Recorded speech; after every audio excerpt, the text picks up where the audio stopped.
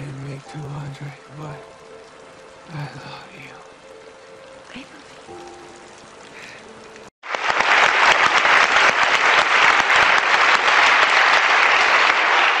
So I'm reprising a talk that I gave in September at Carnegie Mellon University. There's an academic tradition called the last lecture. Hypothetically, if you knew you were going to die and you had one last lecture, what would you say to your students? Well, for me, there's an elephant in the room. And the elephant in the room is that for me, it wasn't hypothetical. I've been fighting pancreatic cancer. It has now come back after surgery, chemotherapy, and radiation. And the doctors tell me there's nothing more to do and I have months to live. I don't like this. I have three little kids. Let's be clear, this stinks. But I can't do anything about the fact that I'm going to die. I'm pursuing medical treatments, but I pretty much know how this movie is going to end. And I can't control the cards I'm dealt, just how I play the hands. So, today's talk is not about death. It's about life and how to live, specifically about childhood dreams and about how you can try to achieve them. My childhood dreams, your childhood dreams. It was an easy time to dream. When you turn on your television set and men are landing on the moon, anything is possible. And we should never lose that spirit. Now, I played Little League football for a long time, and I had a phenomenal coach, Coach Jim Graham. And he was old school. When I was at a practice, he rode me all practice. You know, you're doing it wrong, go back, do it again. You're sloughing off, you owe me push ups. Just for two hours, it was relentless. And after practice, one of the assistant coaches came up to me and he said, Yeah, Coach Graham rode you pretty hard. And I said, Yeah. And he said, That's a good thing because it means he cares. When you're doing a bad job and nobody points it out to you, that's when they've given up on you. And that's something that's really stuck with me, is when somebody is going to ride you for two hours, they're doing that because they care to make you better. So, probably the, the most wonderful thing my parents did was they let me paint my bedroom. I said one day, I want to paint stuff on the walls. And they said, okay. So I had a rocket ship, and we lived in a ranch, so I wanted an elevator. I wasn't sure where it would go. And uh, yeah, you can tell the nerds early, so that's the quadratic equation. But the great thing is that they let me do it. And they felt that letting me express my creativity was more important than the pristine nature of the walls. And I was really blessed to have parents who saw it that way. My parents taught me about the importance of people versus things. So when I got older and I bought my first car and I was so excited, I had this shiny new convertible. This is my niece and nephew, Christopher and Laura. And every, every month I'd take them for a weekend, so my sister and her husband would get a little break, and we'd go off on adventures. And I just showed up with my new car, and my sister's explaining to Chris and Laura, now it's Uncle Randy's new car, you can't get it dirty, da da da da da. And they're just cracking up laughing because over her shoulder, I'm casually opening a can of soda and just emptying it on the back seat. And they come running over. My sister says, What are you doing? And I said, It's a thing. It's just a thing. And I'm really glad I did that because at the end of the weekend, as I was driving them home, little Chris, who was about eight at the time, had had the flu and he threw up all over the back seat of my car. and I don't care how much value you get out of owning a nice, shiny, pristine thing. It's not as good as I felt knowing that I made an eight year old boy not feel guilty just because he'd had the flu. Next thing, you better decide early on if you're a Tigger or an Eeyore. Tiggers are energetic, they're optimistic, they're curious, they're enthusiastic, and they have fun. And never, ever underestimate the importance of having fun. I am dying soon, and I am choosing to have fun today, tomorrow, and every other day I have left. If you want to achieve your dreams, you better work and play well with others. And that means you better live with integrity. Simple advice that you'll find hard to follow just tell the truth. Second thing, when you screw up, apologize. There are a lot of bad apologies in America. A good apology has three parts I'm sorry, it was my fault, how do I make it right? Most people skip that third part. That's how you can tell sincerity. The last thing is that we all have people that we don't like, that have done things we don't like, and what I have found is no one is pure evil. If you wait long enough, they will show you their good side. You can't make them do it in a hurry, but you can be patient. Show gratitude. When I got tenure as a young faculty member, There were about 15 young kids who'd been working in my research lab. I took them all down to Disney World for a week on my nickel. And one of my colleagues said, This must have cost you an arm and a leg. How could you do it? And I said, These kids just worked day and night for years so that I could get the best job in the world for life. How could I not do it? I mean, gratitude is a very simple thing, and it's a very powerful thing. And lastly, I don't think complaining and whining really solves the problem. This is Jackie Robinson, first black major leaguer, had it in his contract not to complain if people spit on him. All right? Now, I don't care if you're Jackie Robinson or if you're a guy like me who's only got a couple of months to live. You can choose to take your finite time and energy and effort, and you can spend it complaining, or you can spend it playing the game hard, which is probably going to be more helpful to you in the long run. Now, I told you this is part of the lecture series at Carnegie Mellon University, and it's important for you to know why I gave the talk. Okay? The talk isn't just about how to achieve your childhood dreams. It's much broader than that. It's about how to live your life. Because if you lead your life the right way, the karma will take care of itself. The dreams will come to you. If you live properly, the dreams will come to you. I think it's great that so many people have benefited from this lecture, but the truth of the matter is that I didn't even really give it to the 400 people at Carnegie Mellon who came. I only wrote this lecture for three people. And when they're older, they'll watch it. Thank you.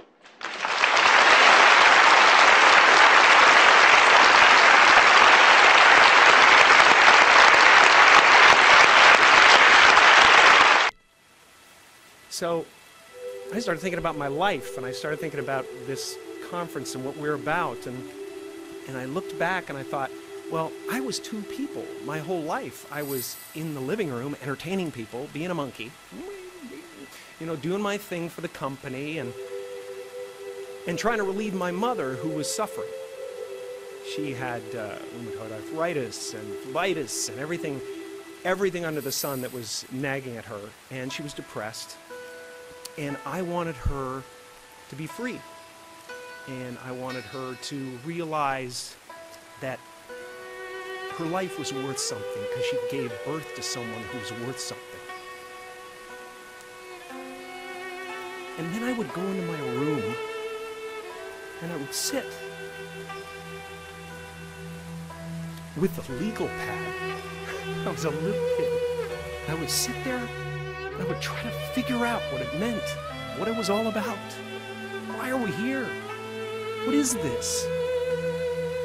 And one day I read something from Buddha that said that all spirituality is about relieving suffering. And I suddenly realized that's what I'm doing in the other room. and, and I'm aligned. You know, this my purpose is aligned with this. So I felt incredibly lucky. I lose sight of that all the time. I get caught up in different concerns and ego concerns. But I'm so lucky to be a part of this community and to, to, to do something that is of value.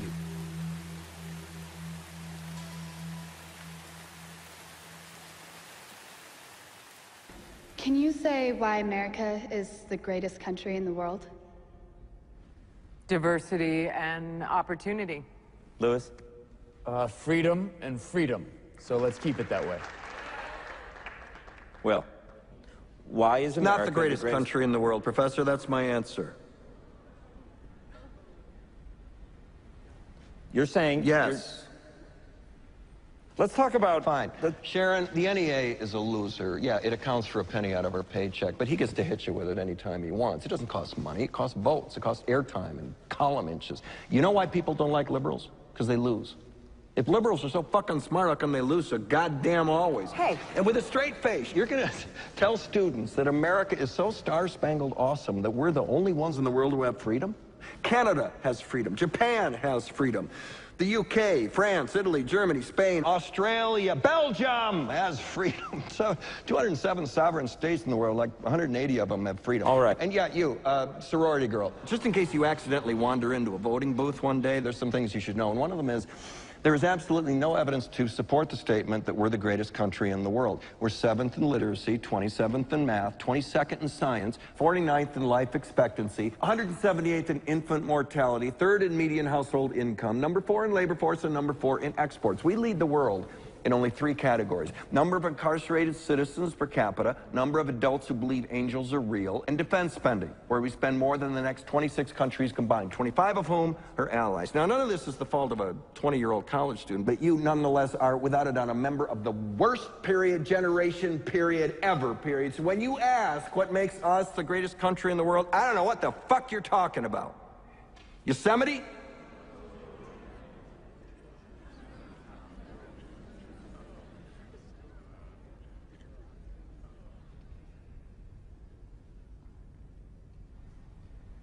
Sure used to be. We stood up for what was right. We fought for moral reasons. We passed laws, struck down laws for moral reasons. We waged wars on poverty, not poor people. We sacrificed. We cared about our neighbors. We put our money where our mouths were, and we never beat our chest. We built great big things, made ungodly technological advances, explored the universe, cured diseases, and we cultivated the world's greatest artists and the world's greatest economy. We reached for the stars, acted like men. We aspired to intelligence. We didn't belittle it. It didn't make us feel inferior. We didn't identify ourselves by who we voted for in the last election, and we didn't, we didn't scare so easy.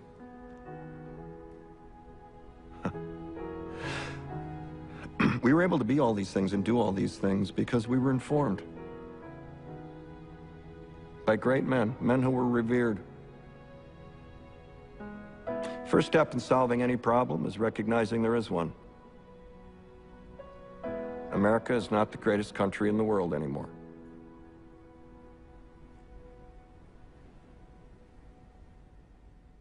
Enough?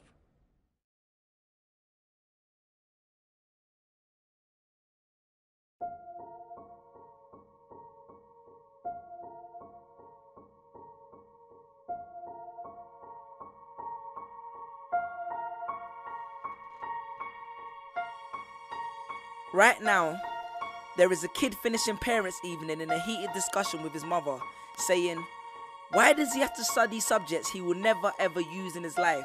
And she will look at him blank eyed, stifle a sigh, think for a second, and then lie. She'll say something along the lines of, You know, to get a good job, you need a good degree, and these subjects will help you get a good degree. We never had this opportunity when I was younger. And he will reply, But you were young a long time ago weren't you, Mum? And she won't respond, although what he implies makes perfect sense that society's needs would have changed since she was 16. But she will ignore him, grip his hand more sternly, then drag him to the car. But what she doesn't know is that she didn't ignore him just to shut him up. She didn't lie because they were just returning from parents' evening and an argument in the hallway would look bad on her resume. She won't lie because she just spent the last one hour convincing a stern faced teacher that she will ensure that her child studies more at home. No, she will lie simply because she does not know any better herself.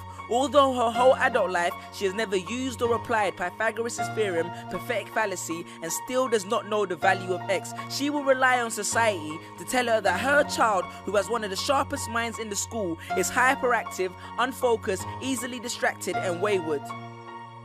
Students. How many equations, subjects, and dates did you memorize just before an exam never to use again? How many A grades did you get which were never asked for when you applied for a job? How many times have you remembered something five minutes just after the teacher said stop writing? Only to receive your results one month later to realize that you were only one mark short of the top grade. Does that mean remembering five minutes earlier would have made you more qualified for a particular job? Well, on the application form, it would have. We all have different abilities, thought processes, experiences, and genes. So, why is a class full of individuals tested by the same means? So, that mean Sherelle thinks she's dumb because she couldn't do a couple of sums? And if this issue is not addressed properly, it then becomes a self fulfilling prophecy. Then every school has the audacity to have a policy on equality. the irony. Exams are society's methods of telling you what you're worth but you can't let society tell you what you are, because it's the same society that tells you that abortion is wrong, but then looks down on teenage parents. The same society that sells products to promote natural hair, looks, and smooth complexion, with the model on the box half photoshopped and has fake lashes and hair extensions, with pastors that preach charity but own private jets, imams that preach against greed but are all fat, parents that say they want educated kids but constantly marvel at how rich Richard Branson is, governments that preach peace but endorse wars, that say they believe so much in the importance of higher education and further learning, then why increase tuition fees every single year? I believe Miss Jefferson when she took me into the office and said that my exams would be imperative to my success. Because we was taught to always follow when Miss Jefferson led. But then I took Jefferson out of the equation and learned to think for myself. I realized we was taught to always follow when Miss led. Huh, the irony. Test us with tests, but the finals are never final, because they never prepare us for the biggest test, which is survival. And what I suggest is fairly outlandish, so I do not expect everyone to understand this, except for the kids who knows what it feels like to be worth no more than that D or that A that you get on results day. And the ones whose best stories were never good enough for the English teacher, because apparently you missed out key literal techniques, did not follow the class plan, and the language was too informal for him to understand. But then he'd reference Hamlet and Macbeth, and you'd fight the urge to express your contempt by partially clenching your fist with only your medius finger left protruding in the middle of your hand, and then asks if he was aware that Shakespeare was known as the innovator of slang, or the kid at the back of the class who thinks, Why am I studying something that doesn't fuel my drive? But then, when confronted with a maths problem, his eyes come alive. So, this one is for my generation the ones who found what they were looking for on Google, the ones who followed their dreams on Twitter, pictured their future on Instagram, accepted destiny on Facebook. This one's for my failures and my dropouts, for my unemployed graduates, my shop assistants, cleaners, and cashiers with bigger dreams, my self employed entrepreneurs, my world changers, and my dream chasers. Because the purpose of why I hate school but love education was not to initiate a worldwide debate, but to let them know that whether 72 or 88, 44 or 68, we will not let exam results decide our fate. Peace.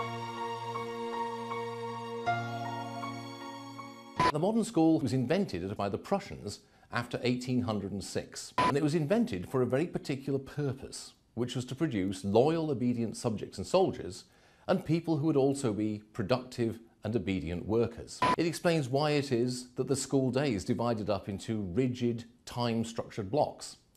It explains why it is that the organisation of the school is hierarchical and highly structured. Education is something which will be central to most people's lives. What we need to do is to get away from the idea that schools are the only way in which we can deliver education.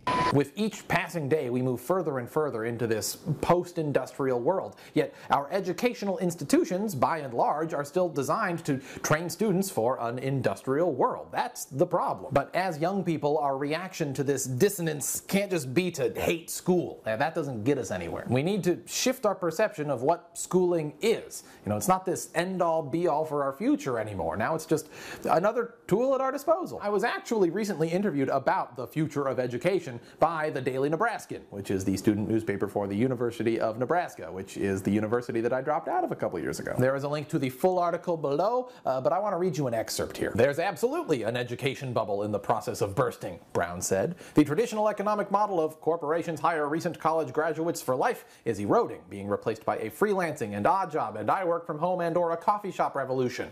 As more and more talented people realize that they can jump into the adult world without a degree, having a degree will become a less and less reliable indicator of talent. Brown added that universities are still valuable sites for interacting with people who possess similar passions, but that the cost of attending a university is no longer justified by what one often gains from the experience. As long as universities continue to be the best place for that sort of interaction, they can absolutely charge a premium for it, Brown said. What's in trouble are big lecture halls that just shower students with facts, intro to library type classes, $300 textbooks, and institutions that assume a I can jump through hoops certificate is worth upwards of $50,000. Today's university students need to get better at identifying which parts of their schooling experience are genuinely helpful, and then which parts are complete bullshit, and then refuse to play into the bullshit.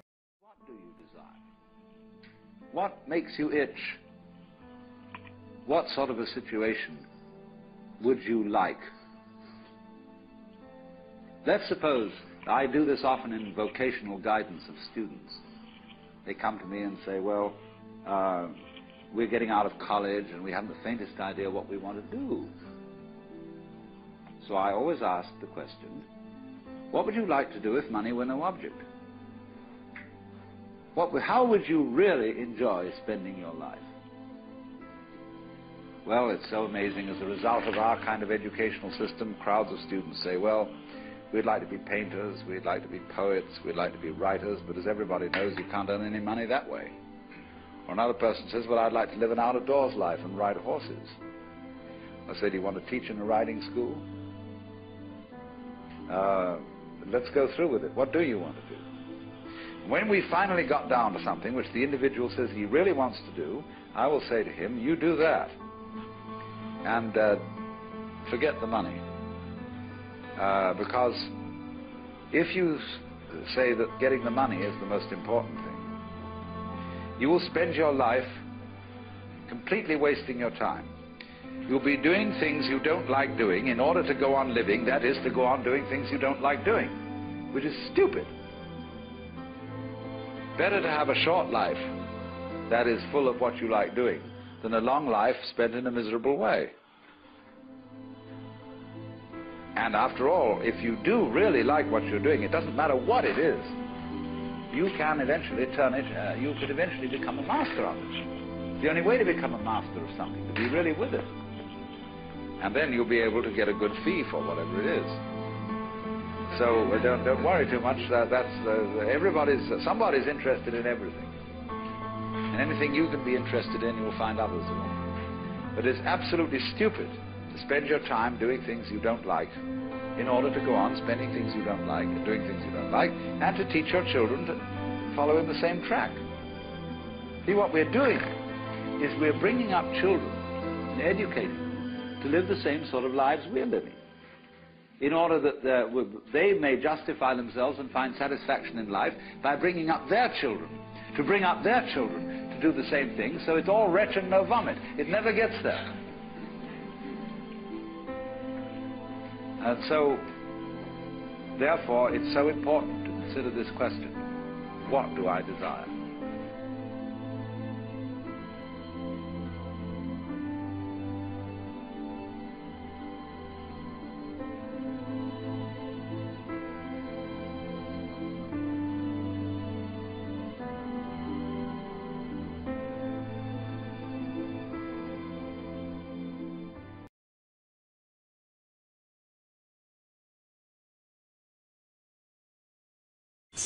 Uh, he is not really interested whether that whether there was an immaculate conception or yeah, not, yeah. or whether the star was there, or whether the wise men went there. But it is the idea of figure of, of Jesus on cross, Yeah. and it's that passion of Christ which moves him deeply. No, that's really quite profound because it's almost as if Gandhi is saying, look, move the dogma aside, move aside all the doctrines, and get to the essence of the teaching. He says, I regard him as perhaps the greatest teacher that mankind has seen. For Gandhi, the real Jesus was not the one developed in the church over the last 2,000 years, the Son of God, born of a virgin, who was the only path to salvation. Gandhi's Jesus was the original charismatic teacher, the man of action, who wanted to change the world. And Gandhi found the core of Jesus' teachings in the Sermon on the Mount. What is the lesson from the sermon that he, he, requires? One, that, that you cannot hate. It's not, it's not an active notion of love. It's not an active notion of compassion. It is a negative notion first, that no matter what it is, no matter how hard my opponent is, now no matter how tyrannical my opponent is, do I have the capacity not to hate? Two, of course, the idea of non-resistance. At the same time, it is not an inactive non-resistance. It is an active act of non-resistance to the evil. Gandhi took Jesus' teachings and transformed them into one of the most powerful political weapons of the 20th century, his philosophy of non-violent resistance. In his long struggle for Indian independence from the British Empire, Gandhi's most famous act of resistance took place when he set out on a march in 1930. The right to manufacture salt was a British monopoly. As a symbolic act of defiance, Gandhi planned to break the law by making salt on the coast. But first, he had to march there. This is really the first uh, place where Gandhi halted. Yeah. Uh, they'd walked 13 kilometers that day. Yeah. By the time they reached here, it was afternoon, and was a huge reception that the village gave. Uh, I think Gandhi's Salt March can be compared to Jesus' final entry into Jerusalem, the culmination of his ministry and his life. Both involved a major confrontation. For Jesus, it was the Romans and the Jewish religious authorities. For Gandhi, it was the British Empire. And for both, it was a highly dangerous strategy. I mean, what do you think was going through the people's minds? Were they apprehensive? Were they optimistic? Did they feel they were going to make it? Gandhi had expected that he would be arrested the night before, uh, and so the expectation was that the British would put him into custody. What happened was completely took him by surprise because when he began walking on 12th March, the entire city walked with him, and and they had to stop in the city and plead with the people in Ahmedabad to please go back. Yeah? 30,000 people. 30,000 people. My with oh, goodness. him. It's amazing. People probably saw this as the beginning of a revolution. It was the same with Jesus. As he entered Jerusalem, he was also mobbed by a huge crowd. Today, in many of the small villages that Gandhi marched through, local people have built statues to commemorate their hero. Yeah, I ju- I just wonder if you could ask the people what Gandhi means to them now. What does he mean to their lives? Seeing this bust here, what, what does Gandhi mean to them? Huh? Huh. Father of the nation. Father of the nation. Huh. What does Gandhi mean to you? Game सारा आता है gave us independence. With his Salt March, Gandhi had started a revolution that later brought an end to British rule in India. Just as Jesus caused uproar in Roman Palestine 2,000 years ago. Okay, so where are we now? This is a place called Navagam, and there is a, a, a statue of Gandhi which tells us that he spent the second night Yep. uh, uh, in Navagam, and the only place which could have housed him was the village school. Yep. There's a cross, there's the sign of the Om, and there is the crescent moon, mm. which says, My life is my message. And this is really quite profound because it's a, it, it tells us a, a great deal about Gandhi bringing together Christianity with Hinduism, with Islam, and saying that what really matters is how you embody it, how you actually practice these ideas. As we were talking, an elderly man walked up. It turned out that he was here when Gandhi arrived on his march in 1930 Given that I'm making a program about Jesus, does he feel that Mahatma Gandhi was, was like Jesus? Because I see some comparisons in terms of their teachings. Does he feel that Gandhi was for him like a, like a messiah, a savior figure? પેગમ્બર Krishna કે રામ એ વાતો જ આપણે જોયા નહીં બાપુએ તો જે કર્યું છે એ જાતે જોયું છે એમને સાથે રહ્યા છે He says he was a, he was godlike. He says, you know, uh, the, the, the prophet or Krishna or Ram are only stories for me.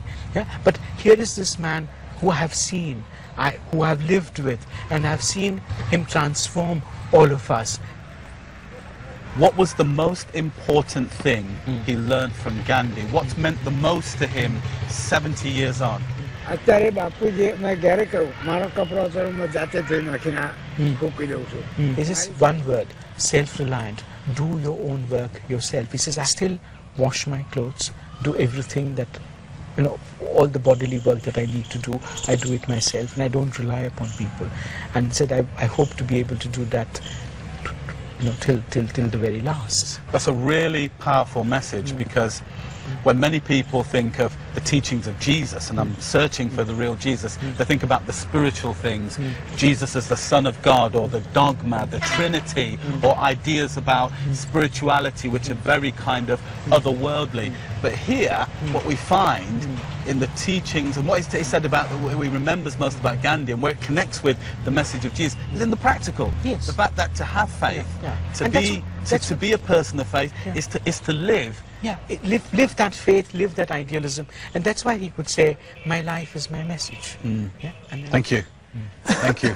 Thank you. Uh, Happy Diwali. The Salt March was an absolutely pivotal moment in Gandhi's and India's struggle against the British, and some commentators have argued that it was the beginning of the end of the British Empire. Since then, Gandhi's brilliant use of non-violence has been emulated by hundreds of resistance movements around the world.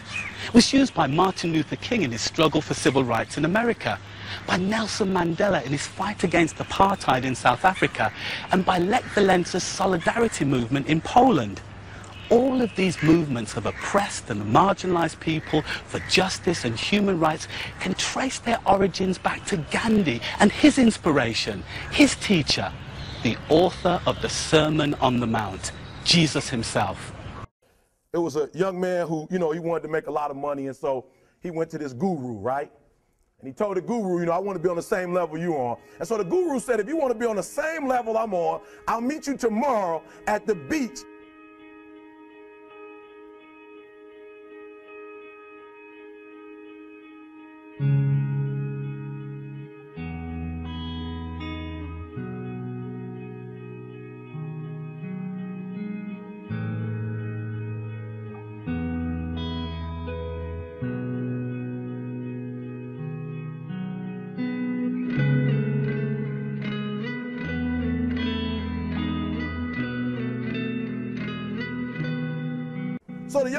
There at 4 a.m. He all ready to rock and roll, got on the suit, should have wore shorts. The old man grabs his hand, said, how bad do you want to be successful? He said, real bad. He said, walk on out in the water. So he walks out into the water. Watch this. When he walks out into the water, it goes waist deep. So he like, this guy crazy.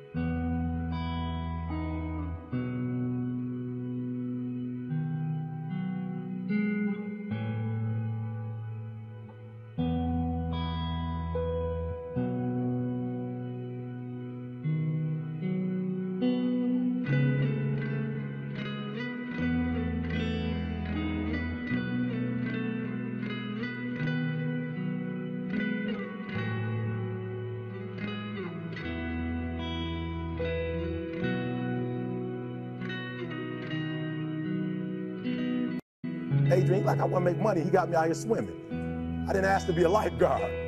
I want to make money. He got me in. So he said, come out a little further. Walked out a little further. Then he had it right around this area, the shoulder area.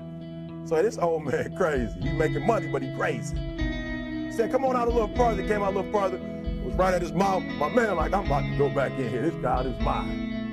So the old man said, I thought you said you wanted to be successful. He said, I do. He said, walk a little further. He came, dropped his head in, held him down, hold him down. My man getting scratching, holding him down. He had him held down. Just before my man was about to pass out, he raised him up. He said, I got a question for you. He told the guy, he said, when you want to succeed as bad as you want to breathe, then you'll be successful. I don't know how many y'all got asthma here today, but if you ever had an asthma attack before, you short of breath, SOB, shortness of breath, you wheezing. The only thing you trying to do is get some air. You don't care about no basketball game. You don't care what's on TV. You don't care about nobody calling you. You don't care about a party.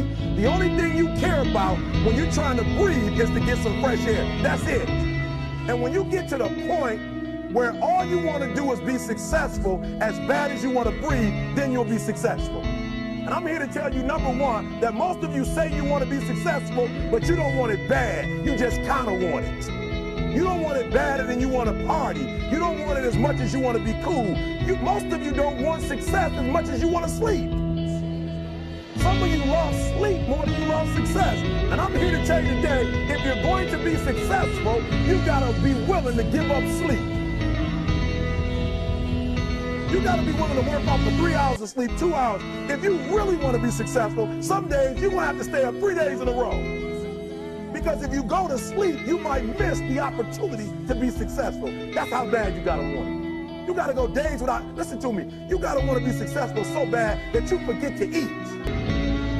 Said, I got an opportunity to make a dream become a reality. Don't cry to quit. You already in pain, you already hurt. Get a reward from it. Don't go to sleep until you succeed. Listen to me. I'm here to tell you today that you can come here, you can jump up, you can do flips, you can be excited when we give away money. But listen to me, you'll never be successful until I don't have to give you a dime to do what you do. You won't be successful until you say, I don't need that money. Because I got it in here.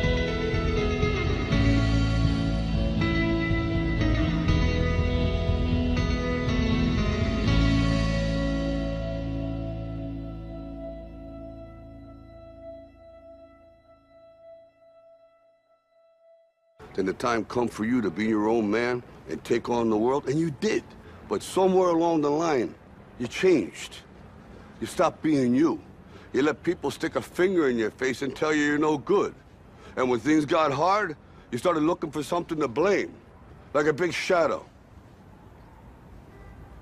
Let me tell you something you already know.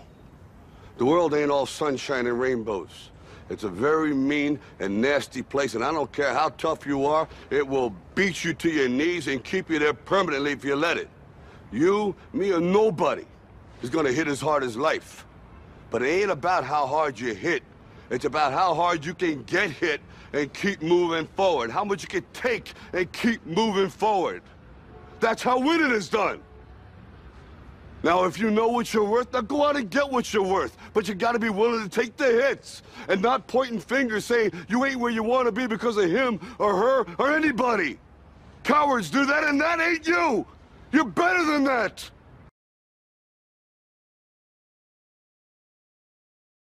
I have a great time with my life, and I want to share it. I love living. I think that's infectious. It's something that you can't fake. Greatness is not this um, wonderful, esoteric, elusive, uh, God-like feature that only the special among us are, will ever taste. You know, it's something that truly exists in all of us. It's very simple. This is what I believe, and I'm willing to die for it. Yeah. Period. It's that simple. I know who I am, and I know what I believe. I know who I am. I know who what I believe. that's all I need to know. And that's all I need to know. So from there, you do what you need to do. Yeah. You know, and I think what happens is we make the situation more complex than it has to Because be. Because we're looking for complexity. There's got to be Absolutely. something complex to understand. It Greatness. can't be that easy. No. We didn't grow up uh, with the sense that where we were was where we were going to be. You know, we grew up with the sense that where we were almost didn't matter because We it- were becoming. we were becoming Right. something greater. The separation of talent and skill is one of the, the, the, the greatest misunderstood concepts for people who are trying to excel, who have dreams that want to do things. Talent you have naturally. Skill is only developed by hours and hours and hours of beating on your craft. I've, I've never really viewed myself as particularly talented. Where I excel is ridiculous, sickening work ethic. You know, while the other guy's sleeping, I'm working. While the other guy's eating, I'm working. There's no easy way around it. No matter how talented you are, your talent is going to fail you if you're not skilled. You know, if you don't study, if you don't work uh, really hard and dedicate yourself to being better every single day, you'll never be able to communicate with, with people, with your artistry, the, the way that you want. So The only thing that I see that is distinctly different about me is I'm not afraid to die on a treadmill. You might have more talent than me, you might be smarter than me, but if we get on the treadmill together, right, there's two things. You're getting off first, or I'm going to die. It's really that simple. One summer, his dad tore down a brick wall on the front of his business and told 12 year old Will and his nine year old brother to rebuild it, a job they said was impossible. It took them a year and a half, but they did it. And he said, now don't you ever tell me it's something that you can't do. You don't try to build a wall. You don't set out to build a wall. You don't say, I'm going to build the biggest, baddest, greatest wall that's ever been built. You don't start there. You say, I'm going to lay this brick yeah. as perfectly as a brick can be laid. Yeah. And you do that every single day. And soon you have a and wall. And soon you have a wall. You know, it's uh, an idea that my grandmother uh, always had that, it, you know, if you're going to be here, then there's a necessity to make a difference. She always instilled the responsibility, the spiritual responsibility that you have to make every group you come in contact with better. I want to do good. Yeah. I want the world to be better because I was here. I want my life, I want my, my work, uh, my, my family, I want it to mean something. And it's like, it has, if, if you are not making someone else's life better, then you're wasting your time. You know, like the, the, your life will become better by making other lives better. I want to represent an idea. I want to represent possibilities. I want to represent the idea that you really can make what you want. One of my favorite books is the the Alchemist, mm-hmm. uh, Paulo Coelho, and that's just I just believe that. I, I believe that I can create whatever I want to create. The first step before anybody else in the world believes it is you have to believe it. Mm-hmm. There's no reason to have a plan B because it distracts from plan A. I think that there's a certain delusional quality that all successful people have to have. You have to believe that something different than what has happened for the last 50 yeah. million yeah, years right. of history, you have to believe that something different can happen. Yeah. Confucius said, uh, he who says he can and he who says he can't are both usually right. Being realistic is the most commonly traveled road to mediocrity. Why would you be realistic? What's the point of being realistic?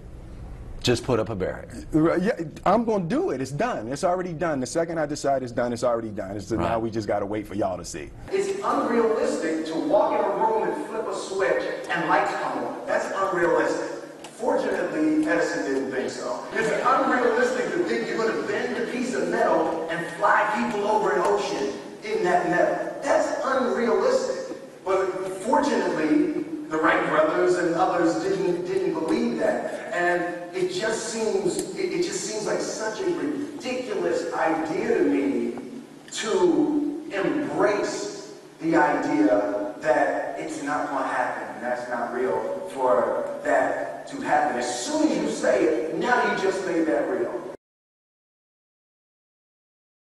Our thoughts, our feelings, our dreams, our ideas are physical in the universe.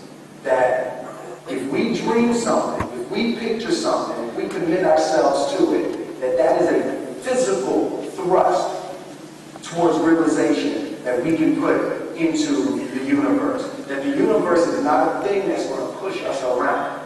That the world and, and people and situations are not something that are going to push us around. That we are going to bend the universe and command and demand that the universe become what we want it to be. I, study the patterns of the universe. There's a, a redemptive power that making a choice has, you know, rather than feeling like you're at effect to all the things that are happening.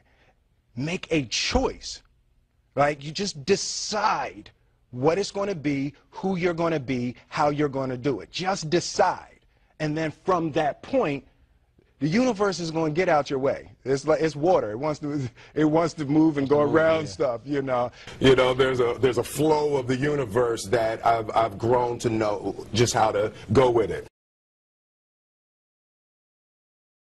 I, I realize that when to, to have the level of success that I, I want to have, it's difficult to spread it out and do multiple things. It takes such a desperate, obsessive focus. You really got to focus with all of your fiber and all of your heart and all of your creativity.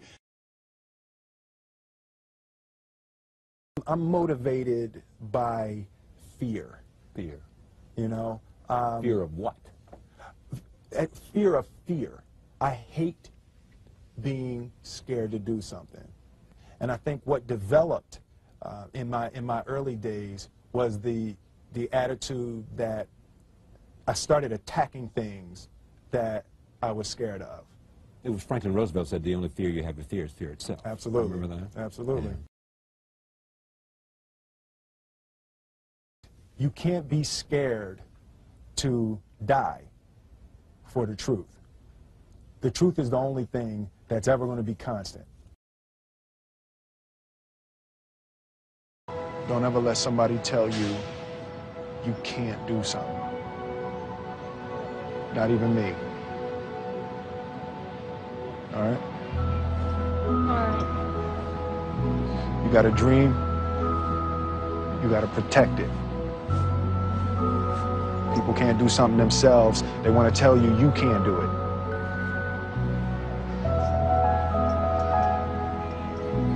You want something, go get it. Period.